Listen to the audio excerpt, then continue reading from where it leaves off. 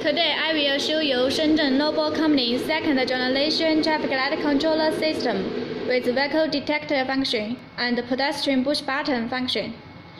This controller can use different working mode. One mode is fixed time circle mode. Lots of controller use this mode. You, now you can see. This is our APP mobile phone. We can program the controller on, the, on here. It's easy to track. Now you can see, this is circle mode. Now this junction is running the circle mode.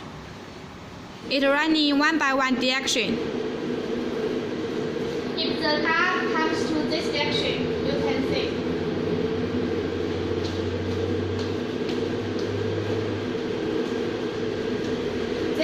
Direction driver need to wait. That direction light, time.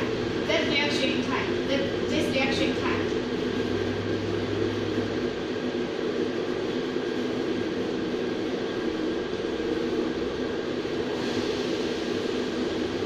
After one circle, this direction driver can go. It takes lots of time. Sometimes it will result the heavy traffic. But our vehicle detection mode, now we change the working mode. Vehicle mode. Okay, we save it. Now this junction is running our vehicle detection mode. Now see what happens. If this junction detects the vehicle,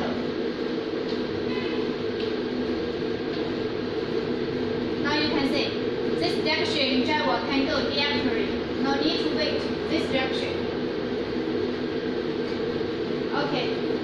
Now that direction also has a car coming.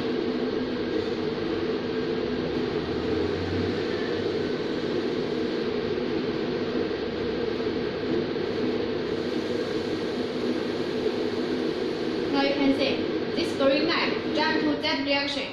No need to wait this direction. See this direction.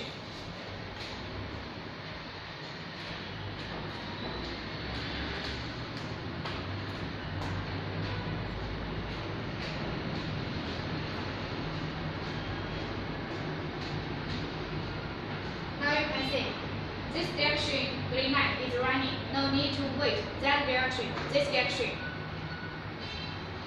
That's the vehicle detection mode. Now as now you can see the pedestrian push button.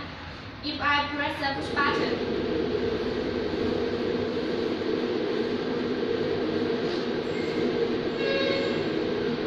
now you can see this pedestrian green light is running. No need to wait. This directions. So it's save lots of time. The people no wait. The driver no wait.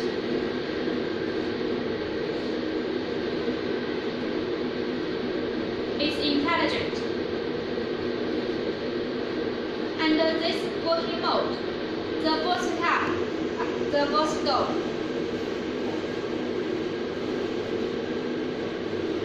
Okay, this is working.